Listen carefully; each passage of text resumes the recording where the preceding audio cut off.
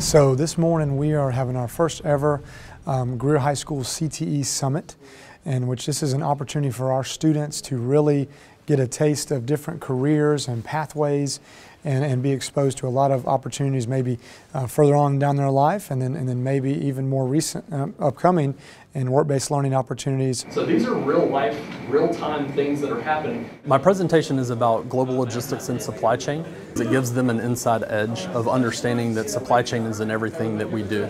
Um, and so what we want to do is to teach them about how important teamwork and leadership and those qualities are uh, and give them an inside track off of different career opportunities. By learning about their experiences and how they like transferred from high school, college to real life, uh, I want to learn how I could do that. So this is a real blueprint from a house? They applied to be in this, this conference style event, this summit, CTE Summit, and they, our students get to participate in these in-depth presentations where they have dialogue with these um, industry leaders in their field and so they can they'll really get a deep dive look into, into several different areas that they that they chose and that they had interest in.